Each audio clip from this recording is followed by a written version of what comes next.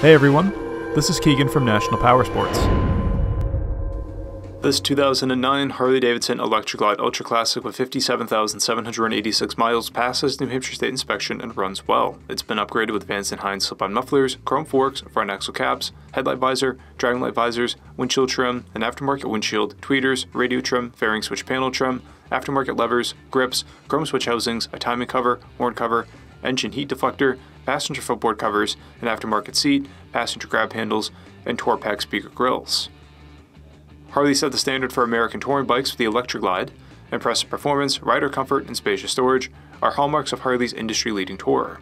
It's powered by a 96 cubic inch V-twin engine with a 6-speed transmission, producing 92 foot-pounds of torque at 3,000 RPM. It has a seat height of 29.1 inches and a dry weight of 868 pounds. It comes equipped from the factory with a multifunction four-speaker stereo system, ABS, and cruise control.